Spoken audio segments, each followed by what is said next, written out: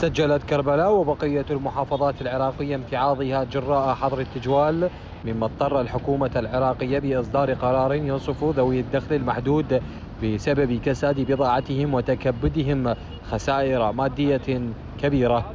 إحنا كسبت اهالي محافظة كربلاء شارع السناتر طبعا حظر التجوال أذانا مشكله كلش كبيرة وإحنا تاذينا من عنده وناس إحنا كسبها على باب الله.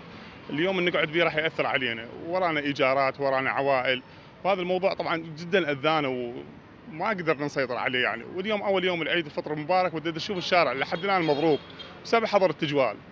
يعني نتمنى إن شاء الله ما ينعاد يعني هاي الفكرة يعني تأذينا إحنا الكسب على باب الله كلش تأذينا هاي الشغلة. سويعات قليلة بعد إعلان إلغاء حظر التجوال التي تزامنت مع أول أيام عيد الفطر المبارك بدأت حركة السير تعود لسابقتها والتبضع في الأسواق والتنقل بين منطقة وأخرى للمحافظة على الموروث الحقيقي لأيام العيد الذي يملأه المودة والتواصل بين الاهل والأصدقاء. طبعا الحمد لله والشكر. بعد أن شهدت كربلاء المقدسة التخفيف من إجراءات حظر التجوال ورفع السيطرات الداخلية في المدينة، الحمد لله والشكر.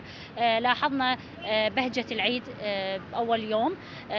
يعني الحمد لله والشكر قدرنا نتواصل مع الأقارب مع الأهل والأحباب وقدرنا إنه يعني نمارس طقوس أول يوم عيد الفطر. كان هناك يعني قلق بالفترة الماضية إنه كيف راح يكون عيد الفطر بظل هذه الأجواء أجواء حظر التجوال. لكن الحمد لله والشكر بعد انه رفع حظر التجوال عادت الحياة لطبيعتها. ونشوف أجواء يعني أجواء العيد بعيون الناس.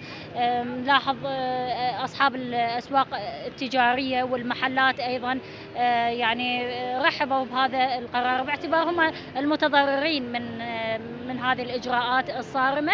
الحياة الطبيعية تكمن بإلغاء حظر التجوال وتوفير الخدمات، هذا كل ما يحتاجه المواطن للعيش بصورة سليمة. لقناة التغيير الفضائية جاسم الهميم كربلاء.